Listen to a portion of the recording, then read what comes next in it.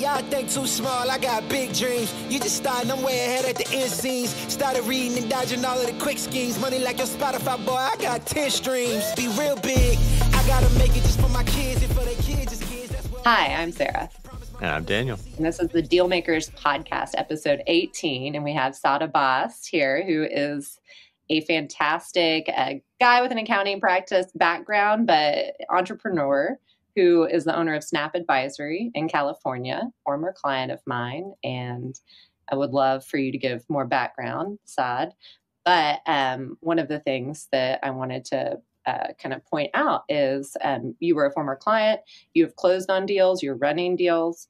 Um, and as you know, our podcast is about kind of adding color to this fantasy of how easy it is to buy a, a business and then sail off into the sunset. Um, so you're doing that. Are you on a boat right now in the Mediterranean? Are you in the sunset? Is everything, has your whole life been made really simple?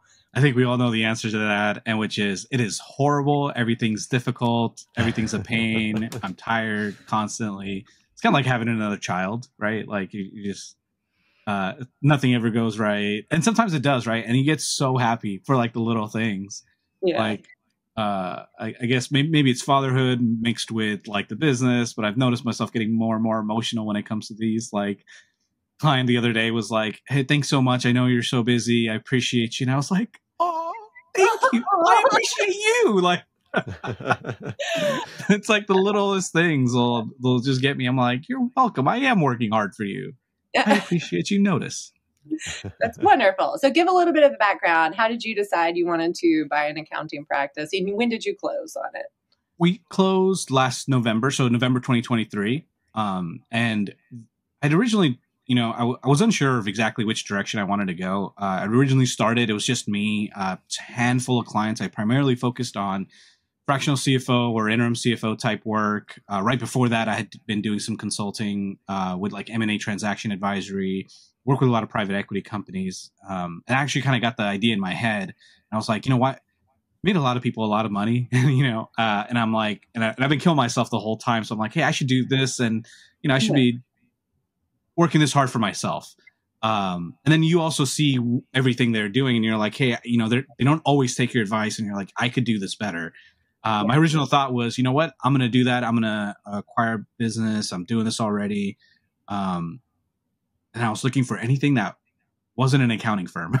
I think I remember. I was all like, so, product, product is good. I can scale products. People yeah. are hard. Um, and lo and behold, you know, I ended up with an accounting firm. Um, so I, I, went through the thing was that, that was really nice. That really helped uh, working with other business owners too. Was just going through so many deals before I even decided on an industry. So originally it was actually much harder, right? So so in the in the searcher space when you're searching for a business to buy, they they tell you, "Hey, get your thesis going, get, you know, focus, uh focus on an industry, focus on this."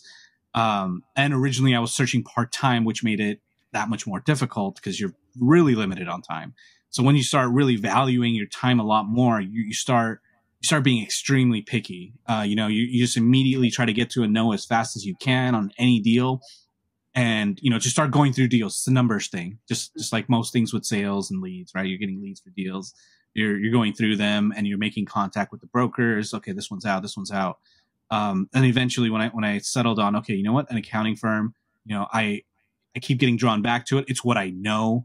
Um, and just knowing everything I know about the industry, it's, it's very, you know, they have a saying, uh, and I forget. I, I, heard it from a lady on on one of the conferences I was at. She's like, you know, accounting has a PMS problem, and, and she said it's pale, male, and stale. Um, and it's very traditional. It's very you know old school. It's very paper based, and it's very uh, kind of spread out when it and you know it's always an individual. It's all centered around the individual that's really hard to replicate. It's really hard to scale. It's really hard to transfer from one owner to the other. So I, I you know, kind of had this idea. Okay, you know, maybe an accounting roll up. Um, when I say roll up, it's really just I want to want to build a good firm, like a decent sized firm, not too huge, enough that I still can interact with some of the clients. I can step in where needed. Um, but you know, just a, just a good place to that people want to work and people are providing a good product. Um, and and you know, I try to productize the service so that we can have kind of that consistent level. let's go let's go back to the beginning real quick. So first of all, I mean, I'm so glad to have you on the podcast, Saad. I'm looking forward to hearing uh, you know all the details. But where did this all begin? Did you know you wanted to be an accountant in school? Was it like your childhood dream? Where did this begin? Early on, uh, I didn't know what I exactly wanted. So I came from a small business background. You know, my dad had a, a shop; it, he would import goods and wholesale them uh, in downtown LA, and um, so I kind of and those were my summers. So I would go and I would actually just kind of work there. You know, I'd, I'd do everything from uh, you know handling clients to inventory deliveries to to, to the plumbing. I, I did the paint. We we acquired a, a warehouse and I you know went to Home Depot, got the spray painter and like sprayed an entire warehouse of paint. Like it was it was interesting. That's entrepreneurship though, right there. Like that's that's the perfect example of it. Okay, so you want to get into importing. By the way, you're painting too and doing right, plumbing. Right, you're the plumber. And... you're the jet. I, I yeah. honestly have been debating, like you know, because because I think uh, on LinkedIn, especially you know, you know, having that CEO title or having the the founder title, it's a little pretentious in my opinion. So I, I'm always like, literally the janitor. Like I will do, you know, it's just there's just yeah. problems and I need to fix them. Like I, you're, you're scaling a business. I would much rather someone else deal with like most of the things that I deal with. But here we are.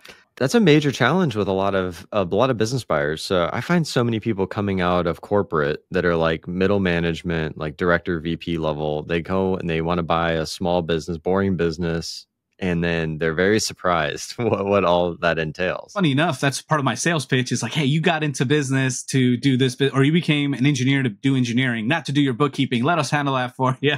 I'll take care of this and that. Um, and it's 100% true. It's the same thing I try to do with my marketing. You know, I would love nothing more than to have a marketing company. And I'm just like, here's some money. Just take care of all of it for me. And you tell me what I'm missing, right? Like, um, I try to get this into my staff as well when it comes to just the tax side.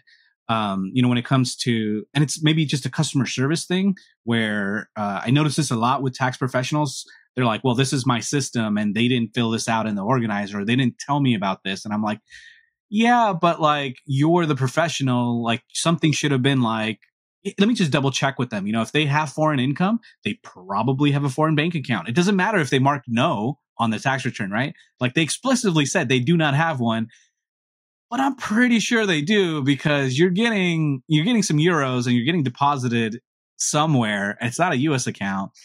So, I mean, those types of things I really try to push, and it's really hard to put that into your processes nobody cares as much as about your business and your clients as you do. So I my, my plan now at least has been to like let me focus on training, training, training, like always kind of try to bring your staff up is the best way to kind of replicate yourself.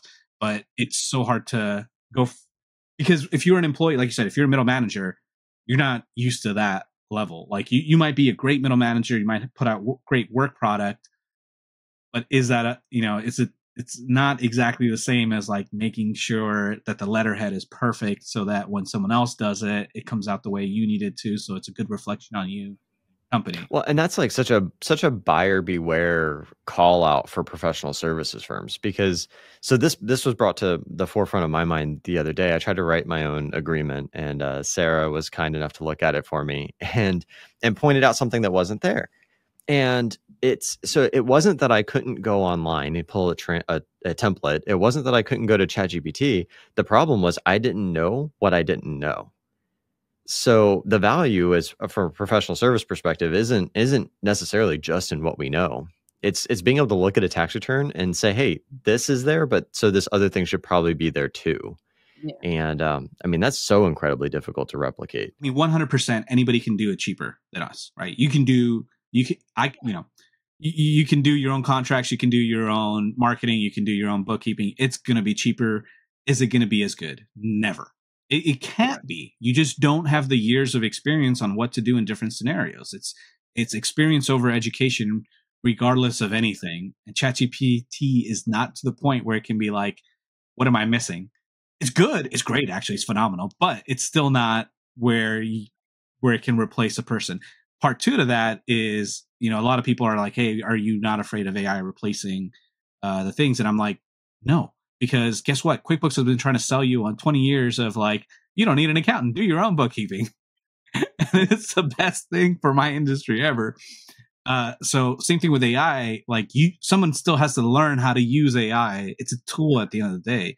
Now there's going to be shifts of course and you better know how to use it to you know improve your productivity and integrate it into your tech stack. But um, replacement wise, I'm not too concerned. And in the businesses like law and accounting, where one sentence or one missed number can cost you tens of thousands of dollars, it's better to have somebody else responsible for that. It still answers the question you ask, and that's what we do in professional services. Is like, and to to the annoyance of our clients, is we don't answer the question they asked. so we answer all kinds of questions they should have asked. so, but uh, I want to hear Saad about prior to my involvement, you know, all of these deals that you went through. And I loved the way you said getting to know as quickly as possible. Because as you know, that's like exactly my goal is just efficiency and like breaking the deal if it's going to break quick so you can move on. Were, were you already self-employed? I, I just want to make sure we have this context. I think we have a. I don't want to miss a spot because I think it's going to be really relevant to how you found this deal. So, were you? Did you go from? So you went from school. You got into accounting first after you know, entrepreneurship and then accounting or door to door sales, hundred percent businesses, right? Uh, I was I grad uh, so I graduated around 2009. You know, uh, not not the best time, and I'm actually a finance major, right? So the thing was, uh, you're finance major. You're like, all right, I got a bachelor's degree. People are gonna want to hire me, and then everyone's like, hey, you can sell insurance, you can sell real estate, you can sell securities, and I was like, uh, what about? I wasn't smart enough to be a financial analyst, right? So the big banks. So I was like, okay so then what do I do now? I know I'll, I'll, I'll go into accounting. That'll be a backup. So back then, that's all you needed to sit for the CPA exams was an accounting minor. Um, mm-hmm. And I did much better in my higher level classes just because they were a lot more engaging. So I was like, okay, let me do that. Uh, and then even with that, with my, accounting minor and like, you know, the non-traditional accountant, still found it hard to this, I guess this was 2010, found it hard to actually get um, accounting related roles. So here I am 100% commission role, like just like, you know, going door to door, all these businesses trying to sell Verizon services at the time, you know, um, great, great experience. I highly recommend sales to as, like as many people as possible. I hated it. It's not for me, but the experience was great. The training was great. There's nothing like pounding pavement to, to really get that. In fact, I was actually thinking the other day, like I should do that for my firm. I'm not even joking. Like just go yeah. to a bunch of businesses. I don't think I've ever heard yeah. of a CPA going into a business and be like, Hey, do you need a CPA? we'll see if I ever get the guts to pull that one off. Um, and then from there, uh, I went to, you know, I just did some, um, went into property management and then I went into, and then I finally got into working with, um, CPA, a local CPA. I actually met him uh, as I was selling him a little mini fridge on Craigslist. we just started talking and like I could how to get a job like at an accounting firm. yeah. So and then that's where I got started really, and I and I was very heavily focused on the business side because for the businesses, mm. you know, we handle the bookkeeping, then we and then as you handle that, they ask you a ton of other questions on things that are completely unrelated. Uh, and around back back then too, um, this is still uh, still early internet when it came to things like your Dropboxes and your Google Drives and your syncing things. So I implement I did a lot of IT work as well. So we were probably one of the first firms to do a lot of this stuff remotely, including like QuickBooks. QuickBooks Desktop is a great example. It's a horrible, horrible product because it's desktop based and everything's online now. So you have to like rent a server to be able to get it. Well, uh, I was able to just put it in Dropbox, and as long as only one person was in the file, you're okay. You don't get conflicts. Um, but it was mostly me, right? It, it was uh, either I was at it at the office or I was using the file at home and then Dropbox would sync the two. So as long as I didn't accidentally leave it open when I left for the day, it was all good. Um, so working with business owners, I got a ton of experience that way. I eventually moved into uh, more of a consulting role that was more like uh, uh like fractional CFO based. Mm-hmm. And again, on your own or in that firm? No, no, no, different different firm altogether. So this was a consulting oh, okay. company, and they focused on no tax, just uh, just fractional CFO.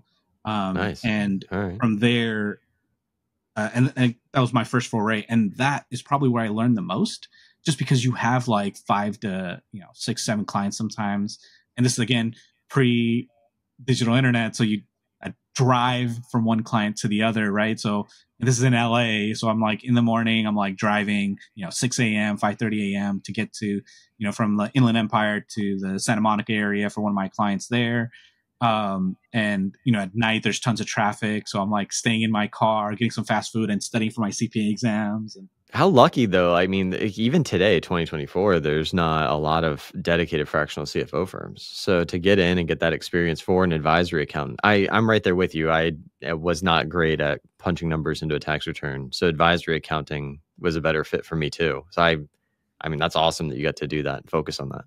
Regardless of how often I get involved, I, I am the one that finds the problems in the returns and I'm fixing them. I stumble my way through the fixes, right?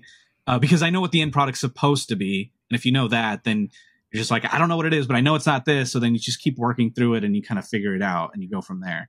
Or you bring somebody else in. Thankfully, um, maybe my networking hasn't been great with other businesses, but it has been great with other CPAs. So I have been able to find, you know, good resources that I can call and ask questions for.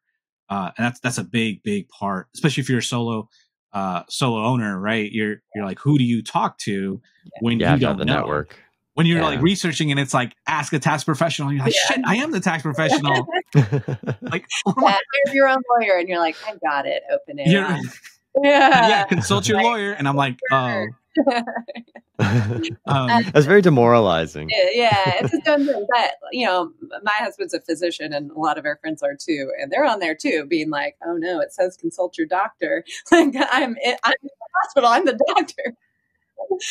and that's, that's the thing you find out right? And and you know you talk to other firm owners and they're like yeah i have no idea either. Like i will just we're gonna have to figure it out. We'll try it out and we'll see. And if there's a problem we'll go from there.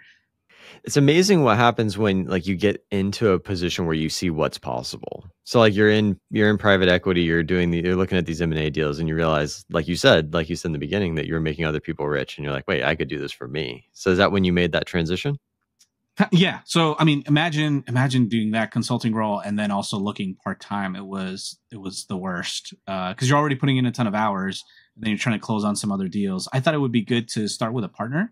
So somebody who already had an established cpa firm. And i was like hey i can you know we can do it a couple of ways but um it's always hard with partners um because you may not always be 100% aligned. It's hard selling your your your vision so to speak. And the other thing too is you don't, you don't know how committed they are. So I kind of went through a couple people. I went back to actually the, the original firm owner that I worked for for the first time, uh, back when I started my career. Uh, and we were kind of going through it. So We found a couple of deals that might work, but it was kind of the same problem where it was still a very traditional firm. Um, so it's hard for me to even get him on board onto the changes because there's always that fear of, well, what, what are we going to do with this? What are we going to do with that? Are we going to change things? So then I decided, of course, to do, do it on my own. And then that that search process, I will say one thing that was much easier when I decided what exactly I wanted, it became much easier because now I know what I'm looking for. Before it was a wide net, so you're looking everywhere. When you decide, I want an accounting firm, and then when you start even getting smaller, like you're like, okay, maybe not nationwide, I want it more localized, and I wanted to do these things, and I wanted to, you know, have all this stuff. I don't want any, you know, I don't want the average fees to be like three hundred dollars for a tax return uh, because I'm not buying an H and R Block, right? Uh, uh, so um, you start getting all these filters in, and makes it so much faster to go to a no because immediately before it even comes to you, right? You you, you can have the, the brokers, and of course, there's brokers that specialize in nothing but that accounting niche. Actually, there's multiple brokers that do that. Yeah. The same thing is true for mu- multiple other industries. There's brokers that do nothing but this type of business.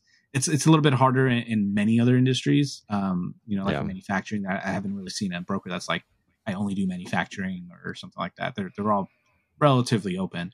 Uh, but you but you also get used to okay the deals coming from this broker tend to be this the deals coming from that broker come to be this this broker's just full of it this broker's like you know really go, being being a good broker in terms of okay they're truly vetting me versus just giving me a hard time.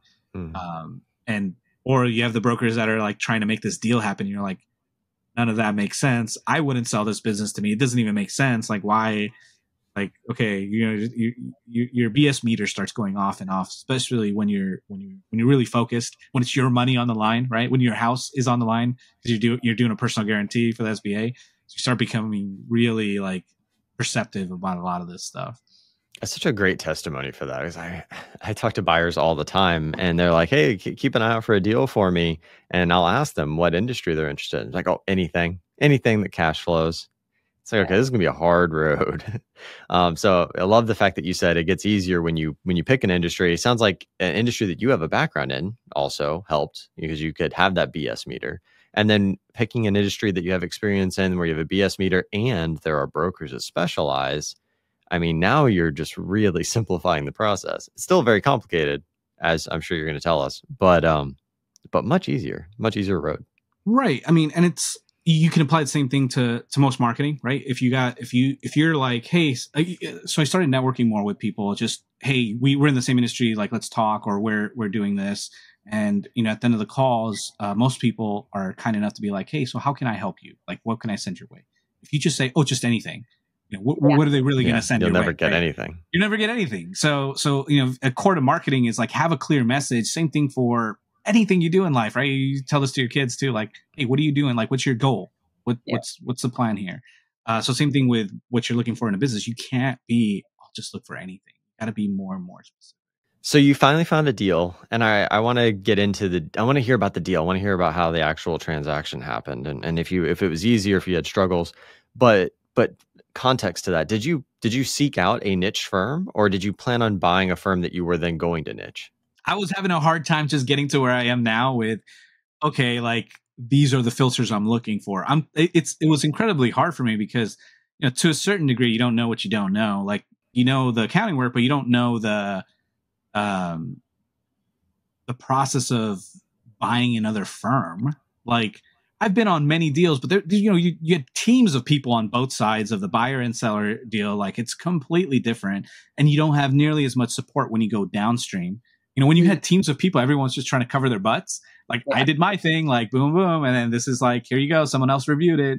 Now it's just you, and if you get lazy, that that's on you, right? Or if you mm-hmm. miss something, that's on you. So it's you know highly stressful. You're trying to figure it out, um, and the and regardless of how many deals you do, it just hits different when it's when it's you doing everything. You're making the call.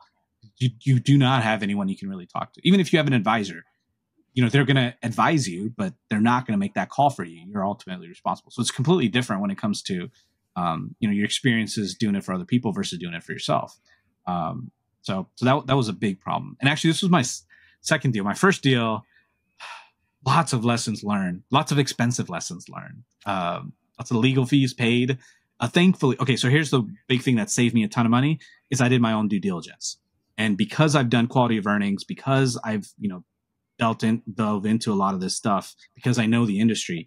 I, I, you know, saved tens of thousands of dollars compared to anybody else that was doing the same thing I was. I mm-hmm. couldn't say that for the legal side of things, so uh, so I still had to spend. But um, what got me was this one deal that fell through. You know, you still got to pay for those legal expenses, so I ended up, you know, losing at least a little under 10k uh, on that deal. And you know, the biggest lesson there was like, you know, be sure be sure the the the seller's in and never ever ever do an LOI that isn't exclusive. Yeah. Ah, like that's a good lesson. I was I was going to get desperate at the time and that's when it really that's when you make mistakes, right? Cuz you're you're tired yeah. you've been looking and you just want to move forward and you find a good enough deal, which is okay. Good enough is a good standard to go by cuz nothing's going to be perfect. But um, you know, that one little kind of thing where you you're like, okay, that's okay I understand where you guys are coming from. Um, and then, and then you really do yourself an extreme, you know, big disservice because at any time something can come in and sweep it off from away from you. And then there's no guarantee that your funds or your, you know, you're getting that, all that time and, you know, those expenses back.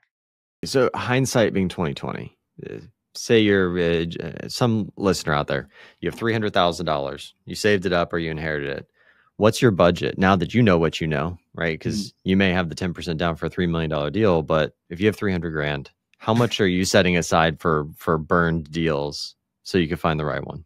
Oh, interesting. Um, I guess it depends on a lot. Uh, but if you're self-funded, I mean, you you better be sure, right? If you have 300k, hey, you can't afford a three million dollar deal. Like that's 10%. What are you, where are all the fees going to come from? Like if you have 300,000, you could maybe, maybe afford a million dollar deal. Maybe like, there you go. That's, that's kind of truth you don't get from the influencers. Yeah, you know. yeah, yeah. No, you, okay. it's ten percent. Get out of here. What are you going to do when you just acquired the firm, uh, and you know the, pri- the the AR doesn't come with the firm, So like all the receivables, all the billings that they have to do, even if you if there is AR, um, there, there's working capital needs. Oh my god, I can't tell you how many. And this is just from like the uh, fractional CFO side, right? Like people are just bad at cash management and they don't even know what working capital is, and, and it's just like you need money in the business. Like at any given time, the business is eating up like you know thousands of dollars, tens of thousands, maybe even a hundred thousand, depending on how big it is. If it has inventory, oh, that three hundred isn't going anywhere. Like you can maybe afford a half a million dollar business if there's inventory involved. Like get out of here. Like all that money that's going to be just sitting there, and then your payroll comes up. You already spent all your money on the ten percent down payment. How are you going to make payroll? Right? Like it, it's a it's a it's a real thing. So even with the traditional CPA firms, all the revenue, not all, but majority of the revenue comes in at four months a year, maybe. So if if it is a traditional model where you're just doing tax work once a year, what are you going to do for the rest of the time? You have full time staff you got to pay for. You can't just save up all your money and then like you know try to desperately uh, ration it out for the rest of the year, uh, which is why you know I focus on the, the let's say the modern. For, well, I'll get to that in a second. But anyway, so yeah. so that was you know the deals falling through and all that other stuff, right? The my deal, I'll, I'll talk about it in a little bit, but like I put in the minimum amount of cash possible because a I'm a big fan of leverage, but b I knew I was going to need cash for for so many things. You know, I know that I didn't know what I was going to need that cash for, so it was very important that I had cash available, including other debt available outside of you know my line of credit and outside of the SBA financing, just to be able to make sure that I don't you know mess this up. And it was really hard to mess up a CPA firm, right? You never heard of a CPA firm going out of business, um, but you know when you have a large debt payment, that changes things a little my whole idea was, you know, to not be in, you know, not be working in the business, working on the business, but that's expensive to do. Especially mm-hmm. so like any any funds left over would then go to debt service. Uh so then you better have a very good growth strategy, which I thought I did, right? Uh but no, I did not. So um so then consider it motivation for you know concentrating on your marketing plan, concentrating on ways to grow the business and you know optimize it as much as possible. So the deal that didn't go through with that letter, letter of intent that was non-exclusive, um, I don't, I don't have any memory of that. this was before we met. This oh, okay. before we met. okay. So, so I mean, that, that, that's a nice little, uh, uh, you know, kind of segue, but also a nice little ad for Sara. Like Sara wouldn't have let me do that. Thanks. Thanks, Saad. um, but you know i am like when i first started out on my own and leaving the large law firm i focused on startups and they would say do you have any like special deals for startups? And my special deal for startups was prioritizing like i'm not going to do everything you need all at once and then charge you for it. I'm going to do things you absolutely critically have to have at the juncture you absolutely critically have to have them so that if it doesn't take off you haven't like invested a bunch. And i'm always trying to toggle that and make sure. So like the legal spend, the bulk comes in the transaction transaction documents, um, and I try to, you know, people are different and when they want those, but usually like commitment letter, LOI, diligence done, primary, you know, on-site visits have happened. Maybe you've even met with the employees. Is a pretty safe time. Yep. yep, all of that was done. This was like purchase agreement was about to be signed, like, and then you know, like th- that, and that was a big thing with the LOI, like well, you know, they shouldn't have been looking at anybody else at all. Right. So it's like, well, you, hmm. you know, because all, the, all, all the time spent for the due diligence, I mean, that would have been an extreme cost, right? Um, and then all the time, you know, going out there physically, meeting with the meeting with the staff, uh, kind of getting to know everything, digging through everything, just all that time you're never getting back. So, uh, so be very sure. Like when you commit, and if the seller's not willing to commit, that's fine. There's there are other deals out there. Like you, it's painful to say no and you know stick to your guns, but you're going to thank yourself much later. The different paths you can take into this, uh, it creates such an interesting chain of events because I find that when you go from private equity to buying a Main Street deal, or when you learn from people who come from private equity or investment banking versus like the old school business brokers, so I get to see both sides of it. The old school business brokers don't even really do LOIs. They go straight to a purchase agreement with a due diligence built in. But it's because on one side, yes, you're locking in that buyer, so you're more likely to have a deal go through, but you're also getting a commitment from the seller. So it's really saying like, hey, we're all in this, we're all committing. there's still a way out with diligence, but it's such a more solid starting point. And I didn't come from that. I got into that later after I learned the LOI side. So when I got mm-hmm. into it, I was like, I was like, no, LOIs are better. Um, who's going to sign a contract? Now that I've seen some deals go sideways, yeah, I get it. I get oh, the perspective. No, Daniel, ugh, like that's the that's terrible. It's, it depends on the deal size. It's, yeah. It does. It does. And there's so a, much so. Yeah. yeah. There's no right answer. I mean, either way, it could go wrong. I mean, there's a little bit of a right answer, but like pros you and cons to everything you should have been doing deals when the pandemic happened in March, and a whole bunch of people had signed a purchase agreement that had no financing contingency, and all the SBA loans were pulled. And so now everyone was contractually obligated to somehow come up with like $3 million out of their own pocket to do a deal. so, like, the right purchase agreement would have that contingency, right? Like, actually, that's funny you say that. That is why my deal fell through because I would not let go of the financing contingency. Uh-huh. And some other guy was. He came in with cash, right? So so he didn't care. So I'm like, yeah. Okay. Uh, but it was one of those things like I again, first deal financing it on my own.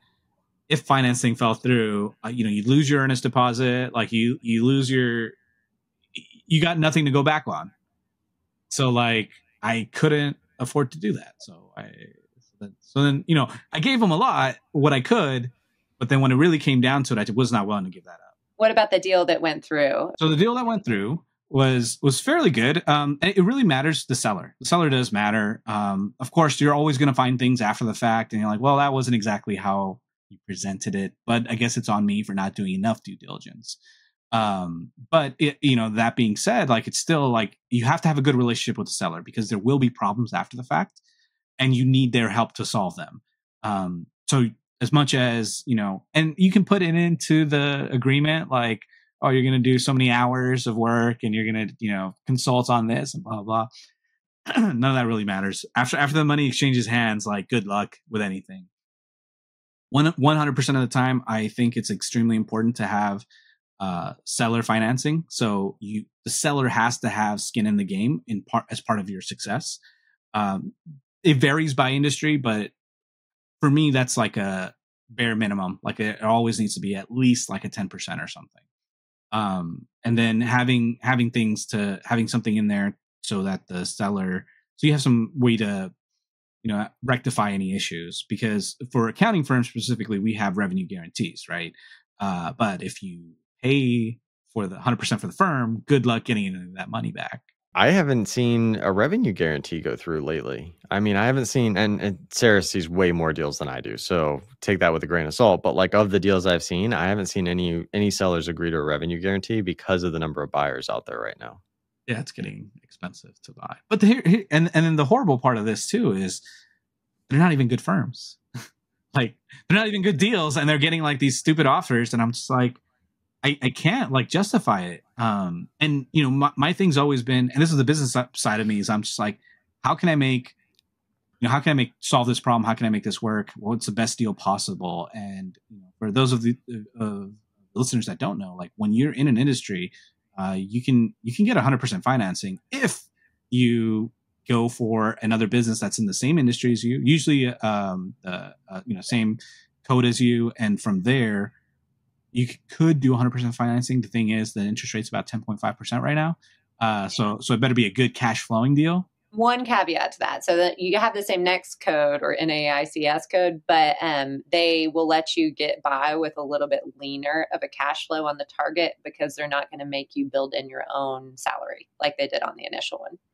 Of course, of course. So, so like, and we're we're always talking like kind of EBITDA, but of course you don't need to duplicate yourself. However, if you're any sane person, right? If you're buying a firm from another person, that person's yeah. retiring, you got a full time head. And if it's a firm owner, it's more than a full time head that you're replacing.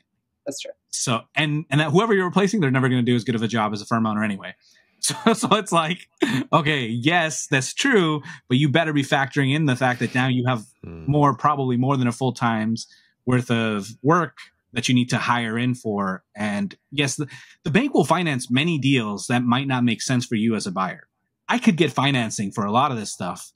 I still think it's a bad idea. because I don't want to cut it that close. I know, I whatever it is, I just know there's additional expenses. I know it's cutting it tight, and there's just so much more work for not much of a payoff.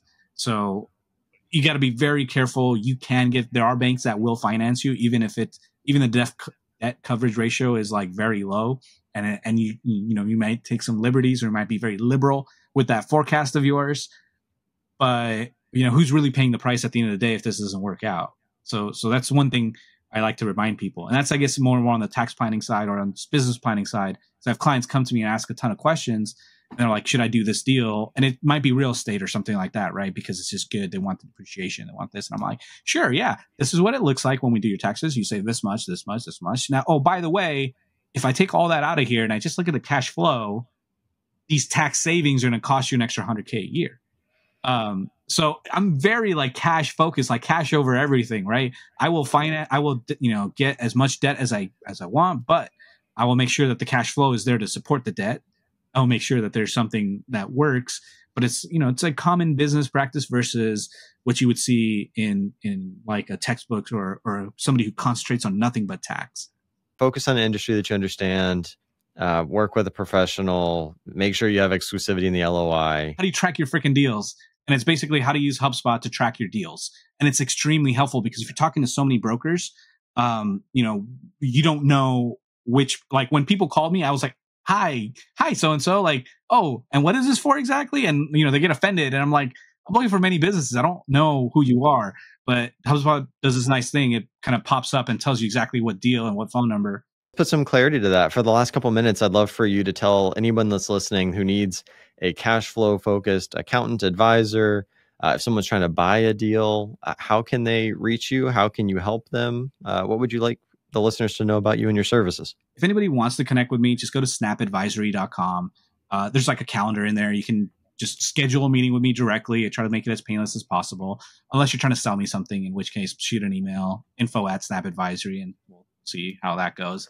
But um, where I concentrate, honestly, like all my stuff is I figure, hey, uh, when it comes to the searchers, the people that are listening to this podcast, that you know they probably use a little bit of a help um, with just just maybe like a little consulting. But then if I'm able to provide some value to them in that initial call or something, when they do acquire the firm, they're going to need that bookkeeping service. They're going to need that you know tax service, and hopefully that kind of converts over. For the individual side, you know the big focus in the CPA industry right now has been getting away from the solo 1040 work because you're then you're competing with like H&R blocks. Mm-hmm. Um, but to focus on tax planning, you know, somebody, people generally, I, w- I want, at least the ones I want to focus on, want a continuous relationship with their CPA throughout the year versus just during tax time.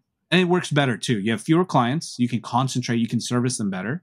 Uh, and from there you actually understand your clients better because now you're not managing 300 clients maybe you're managing 50 to 100 clients per per cpa or per ea or whatever you want to go with them i mean i i've sent you referrals because i think you're a very unique option because california uh, which is great you know like it's really helpful to have somebody who knows california tax and and you're so entrepreneurial.